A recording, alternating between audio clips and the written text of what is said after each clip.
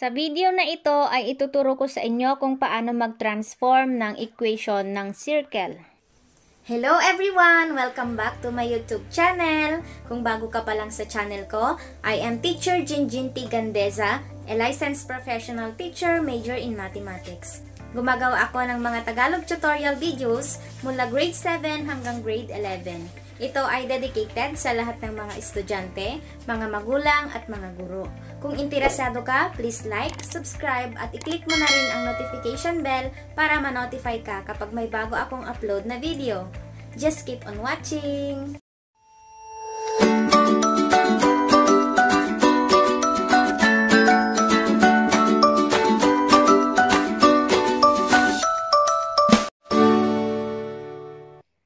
Good day mga anak shis! Bago tayo magsimula, kailangan panoorin nyo yung mga naunang video sa Learning Task 2 dahil dito ko tinuro kung paano mag-transform ng mga equations.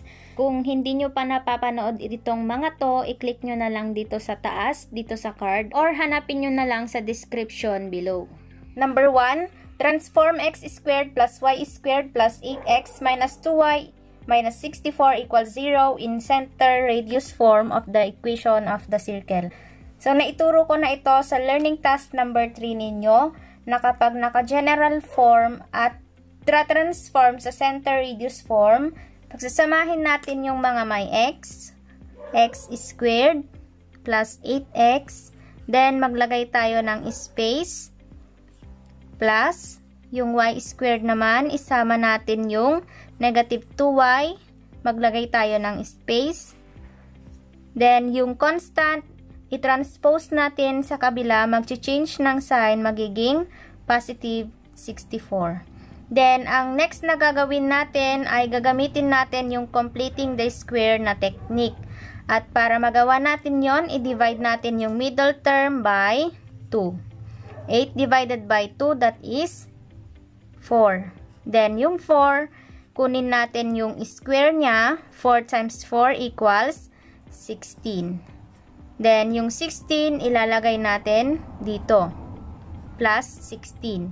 Kapag nag-add tayo dito ng 16, dapat mag-add din tayo dito sa right side by addition, property of equality. Next, dito naman, kompletuhin natin itong trinomial. So, negative 2 divided by 2 equals negative 1. Then, yung negative 1, kunin natin yung square niya. Negative 1 times negative 1 equals positive 1. Yun ang ilalagay natin dito sa third term. Then, mag plus 1 din tayo dito sa right side. So, ito ay perfect square trinomial na. Ganon din dito. Ang factor ng perfect square trinomial ay square of a binomial. Para kunin natin yung factor niya, kunin lang natin yung square root ng first term. Ano ang square root ng x square? That is x. Kopyahin yung sign ng middle term, positive. Then, kunin natin yung square root ng third term. Ano ang square root ng 16? Positive 4 raised to the power of 2. Plus, ano ang square root ng y squared? That is y. Kasi y times y equals y squared. Kopyahin yung sign ng middle term, negative. Then, kunin yung square root ng third term. Ang square root ng positive 1 is equal to 1. Then, maglagay ng parenthesis, raised to 2. Equals, combine natin to, 64 plus 16 plus 1. Equals, 81. Okay? So, 81. Since ang tinatanong lang naman dito ay center radius form, ito na ang kanyang center radius form. Hindi na natin kailangan kunin yung coordinates ng center na HK. Number 2, Find the center and radius of a circle represented by the equation x squared plus y squared equals 49. Sa mga nakaraang video, tinuro ko na kapag ganito ang kanyang form, ang kanyang center ay nasa origin. Ibig sabihin, ang center nito ay 0, 0. Kasi ganito yung kanyang form. Ngayon, ano ang kanyang radius? Kukunin lang natin yung exponential form ng 49 na may exponent na 2. So that is x squared plus y squared equals ito 7 raised to 2. Ibig sabihin, ang radius niya is 7. Okay? Dito naman sa letter B, x plus 7 squared plus y plus 8 squared equals 64. Ang gagawin natin dito, kukunin natin yung kanyang center radius form para makuha natin yung center at saka yung radius. 'Di ba? Ang center radius form equals x minus h squared plus y minus k squared equals r raised to 2. 'Di ba? Kapag positive yung given, ang gagawin natin is kukunin natin yung katumbas niya para maging ganito yung form. Ang katumbas ng 7 equals negative times negative 7. Ganon din yung positive 8, ang katumbas niya ay minus negative 8. di ba? Negative 8 times negative 8, positive 8. Para maging ganito yung kanyang form. So, magiging x minus negative 7 raised to 2 plus y minus negative 8 raised to the power of 2 equals, ito namang radius, maghahanap tayo ng exponential form ni 64 na may exponent na 2. And that is 8 raised to 2.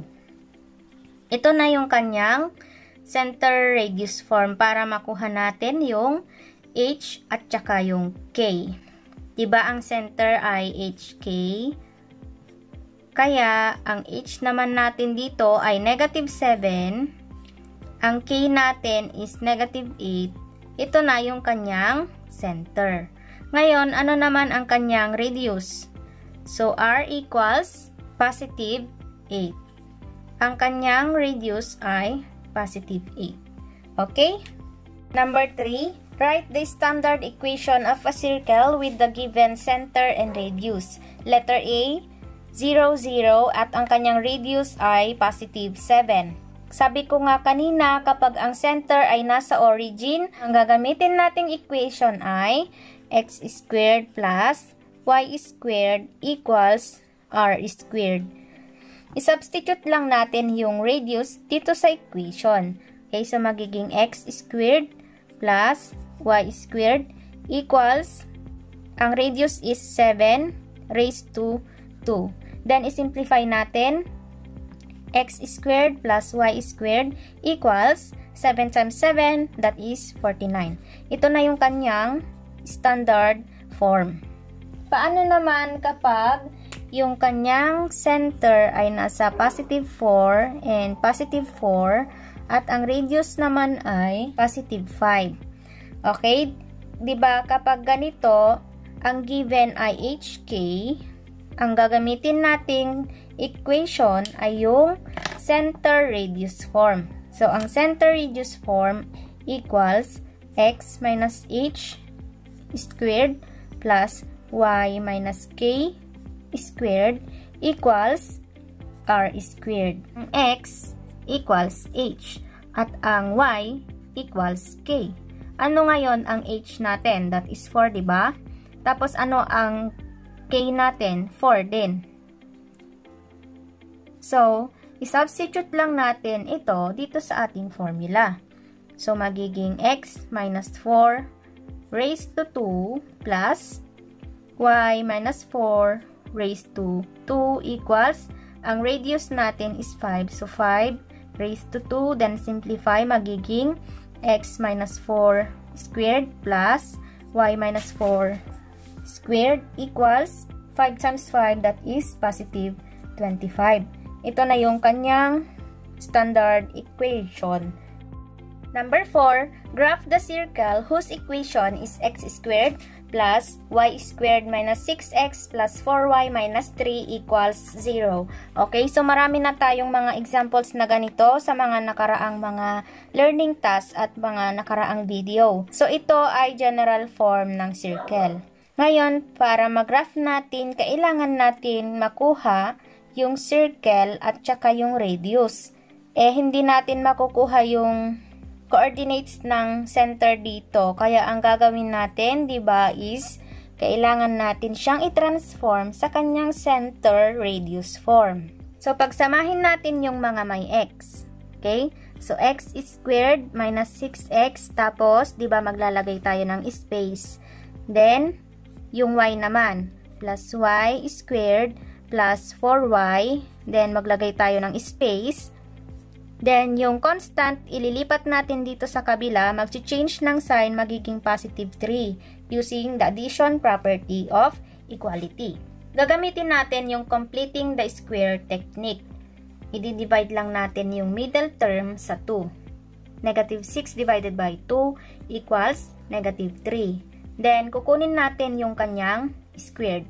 Negative 3 times negative 3, that is positive 9. Kung positive 9, yun yung ilalagay natin dito sa space. So, plus 9. Kung ano yung inad natin dito, dapat i-add din natin dito sa right side. Next, ito naman, 4 divided by 2 equals 2. Then, kunin natin yung square. 2 raised to 2 equals 4. Okay? Next, yung 4 ilalagay natin dito sa space. So, plus 4. Kapag nag-add tayo ng 4 dito, by addition property of equality, mag-add din dapat tayo dito. Okay? Ngayon, di ba ang perfect square trinomial, kapag kinuha natin yung kanyang factor, ang magiging factor niya ay square of a binomial.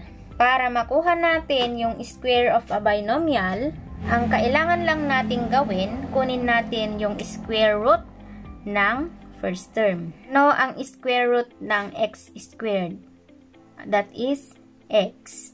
Then, copy the sign of the middle term, negative. Then, kunin natin yung square root ng last term. Square root of 9 equals 3. Tapos, maglagay ng parenthesis, maglagay ng power of 2. So, ganyan yung factor ng perfect square trinomial, 'di ba? Napag-aralan niyo na 'to nung grade 8 kayo. Next dito naman sa perfect square trinomial na 'to. Ano ang square root ng y square? That is y. Kasi y times y equals to y squared. Tapos kopyahin yung sign ng middle term. Then kunin yung square root ng last term. Square root ng 4 ay 2. Then maglagay ng parenthesis raised to 2 equals, i-add natin lahat to, 3 plus 9 equals, 12 plus 4 equals 16. Ngayon, meron na tayong center radius form. Pero ito, hindi pa naka standard equation. So, ang gagawin natin, di ba, is kailangan natin kunin yung katumbas niya na negative. Kaya, magiging x minus 3 raised to 2. Since minus na ito, hindi na natin kailangan kunin yung negative na katumbas niya. Okay? Plus, dito magiging y minus negative 2. Okay? Raised to the power of 2 equals, ano ang katumbas ng 16 na may power of 2? That is 4 raised to 2. Okay, so pwede na natin kunin yung coordinates ng center na HK. Ano ang ating H? That is 3. Ano ang ating K? That is negative 2. Ito na yung kanyang center. Ngayon, ano naman ang kanyang radius? That is 4. Okay?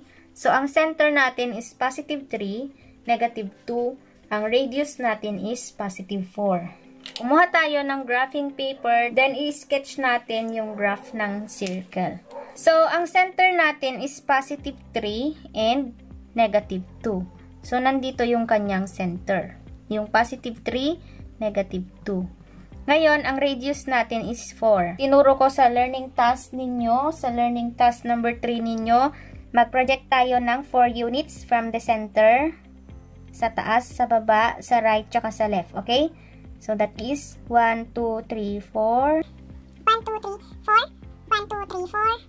2, 4. Then, ang gagawin natin sa mga points, i-connect natin para maging circle. Okay? So, gumamit kayo ng compass para maging perfect ang inyong circle. Okay, so ganito yung kanyang circle. Sorry, hindi siya perfect circle. Pasensya nyo na, hindi ako marunong mag-drawing ng perfect circle. Pero ganito yung kanyang pag-graph. Okay? That's it. Sana nakatulong ito sa inyong mga modules and activities. Maraming salamat sa inyong panonood. Kung nakatulong ito sa inyong mga modules and activities, please comment down below, please. Once again, stay home, stay safe, stay healthy at mag-aral ng mabuti. God bless you all and goodbye!